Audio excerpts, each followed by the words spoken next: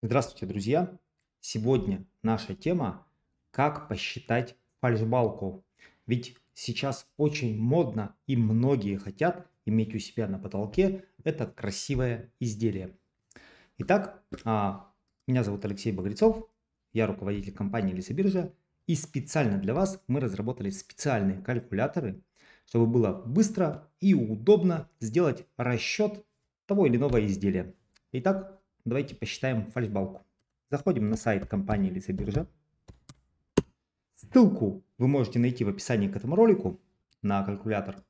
Ну или найти его следующим способом. То есть спускаемся вниз. Здесь у нас находятся калькуляторы.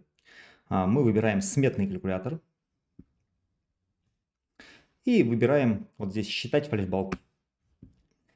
Итак, фальшбалки бывают разные. Фальшбалка бывает Г-образная, П-образная и О-образная. Фальшбалки бывают внутренние для того, чтобы э, украсить ими потолки, либо они бывают наружные. Наружные фальшбалки используются как откосы для окон, а также они могут использоваться как накладки на углы. То есть а, к ним может, могут, может примыкать а, тот же планкен, либо имитация бруса. Итак, как же посчитать фальшбалку в нашем калькуляторе? А, например, возьмем P-образную фальшбалку. А, она у нас будет 150 на 150 и на 150. Размеры фальшбалки бывают внутренние и внешние. То есть, если мы знаем, что у нас балка, а, например, 150, на которую надо надеть эту фальшбалку, то выбираем внутренние размеры. Если нам все равно, то в принципе можем пользоваться как внешними, так и внутренними.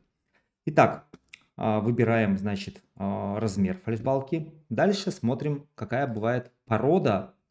А, фальшбалка может быть из хвои, из ангарской сосны, из лиственницы, из кедра, из МДФ шпона, из термоясеня и из брошированной фанеры. Давайте попробуем выбрать фальшбалку из обычной хвои. Длина 3 метра. Количество фальшбалок вы можете регулировать вот здесь. То есть нажимаем и, например, выбрать там 3, 4, 5 нужное количество фальшбалок. Давайте возьмем 3 фальшбалки. Вот у нас 3 фальшбалочки, значит. А, обработка древесины. Что такое обработка древесины? То есть, а, например, в хвое сорта АБ бывают а, какие-нибудь сколы на сучках и так далее. Если мы хотим идеальную фальшбалку, мы выбираем такую услугу, как заделка естественных пороков. Что же это такое? Удаление смоляных карманов и вклейка лодочек, реставрация вырывов в районе сучков, реставрация выпавших сучков с помощью специальной термошпатлевки, особенно актуально для сучковатой древесины сорта АБ либо БЦ. То есть, друзья, мы можем значит, выбрать вот такую заделку естественных пороков. Дальше а, фальшбалки очень часто брошируют, то есть да, а, делают их искусственно состаренными. Это очень красиво. А, выбираем состаривание.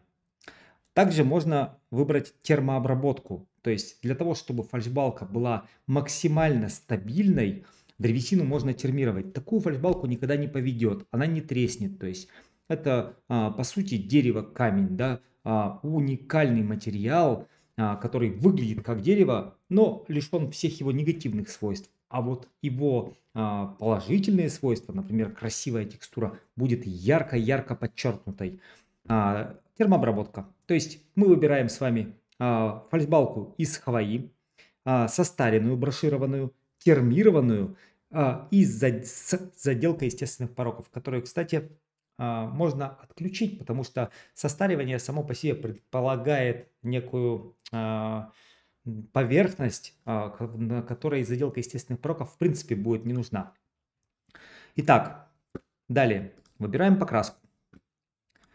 Покраска в цехе. А, и, например, мы выбираем покраску маслом фальшбалки. Выбираем нужный нам цвет. Например, это будет 18, 12, вот такой вот коричневый. И смотрим, заходим в смету. Итак, друзья, перед нами фальшбалка.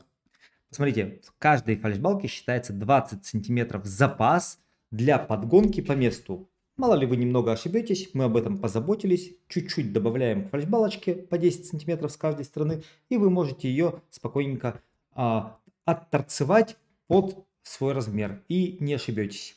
Дальше обработка древесины – это состаривание и термирование и покраска.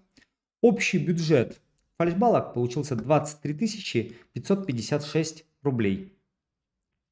Вы можете, значит, отправить себе на почту смету, либо подготовить ее в PDF и э, скачать ее на свой компьютер, скинуть ее а, к себе там в какие-то а, мессенджеры, отправить кому-то. Вот, пожалуйста. То есть вот в таком виде вы можете